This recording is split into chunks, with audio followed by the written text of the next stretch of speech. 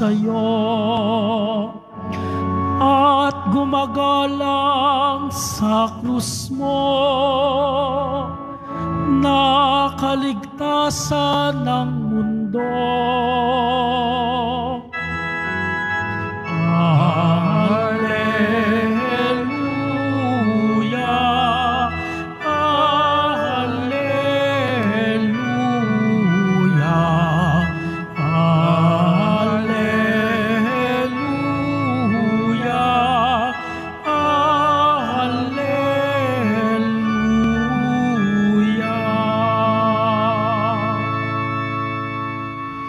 Sumainyo ang Panginoon. At sumayo rin. Ang mabuting balita ng Panginoon ayon kay San Juan. Papuri sa iyo, Panginoon. Noong panahon yon, sinabi ni Jesus kay Nicodemo, Walang umakyat sa langit kundi ang bumaba mula sa langit, ang anak ng tao. At kung paanong itinaas ni Moises ang ahas doon sa ilang, gayon din naman, kailang itaas ang anak ng tao, upang ang sinumang sumasampalataya sa Kanya ay magkaroon buhay na walang hanggan. Gaya na lamang ang pag-ibig ng Diyos sa sanlibutan, kaya ibinigay niya ang kanyang bugtong na anak upang ang sumampalataya sa kanya ay hindi mapahamak, kundi magkaroon ng buhay na walang hanggan. Sapagkat sinugo ng Diyos ang kanyang anak, hindi upang hatulang maparusahan ang sanlibutan, kundi upang iligtas ito sa pamagitan niya. Ang mabuting balita ng Panginoon. Pinupuri ka namin, Panginoong Heso Kristo. Maupo po tayo. Isang mapagpalang araw po sa inyong lahat. Purihin po natin ang ating pong Isus Nazareno. Nasa 14, ah, 14 tayo ng Setyembre at ngayon ay kapistahan ng pagtatampok sa cross na banal. Na ito ay isang pagdiriwang na mayroong una, kahulugan sa buhay mula sa kasulatan. Pangalawa, ang kasaysayan nito. Pangatlo, ano ang kahulugan sa buhay natin. Una, makita po natin sa ating mga pagbasa ngayon, una sa lahat, ang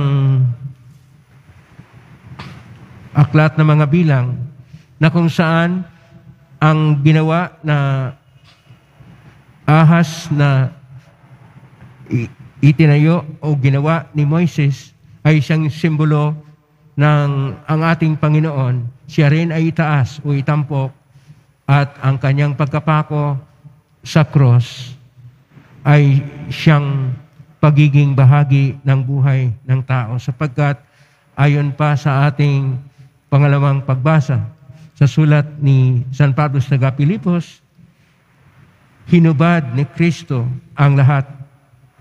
At dahil dito, siya ay nagiging masunurin hanggang sa kamatayan ng cross. Versikulo 8, Kapitulo 2 ng aklat ng sulat ni San Pablo sa taga Pilipos.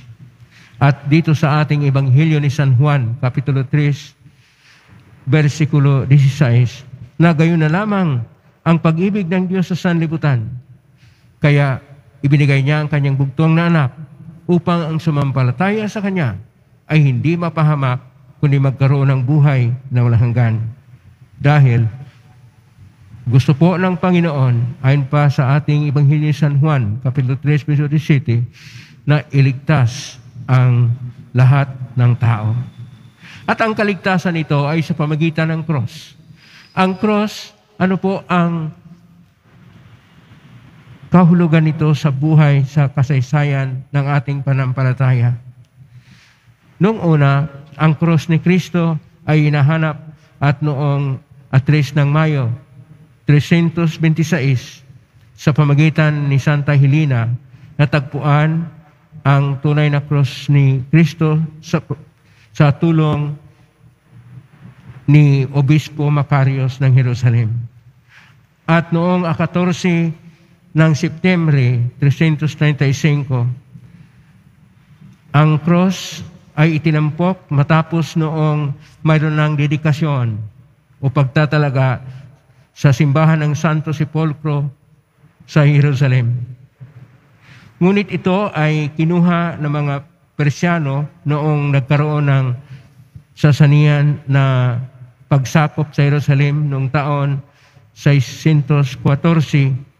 Pero sa pamagitan ni Emperador Heraclius noong taon 629 na ibalik ang cross at yung ating kapistahan ngayon ay kapistahan sa pagtatampok at ang pagbalik sa cross ng ating Panginoon doon sa tinatawag na simbahan ng Santo Sepulcro sa Jerusalem. Ano po ang kahulugan nito sa ating buhay? Dito nating tingnan ang tinatawag na staurologia. Mula sa dalawang salitang Grego, stauron, cross, luhia, salita o kaalaman.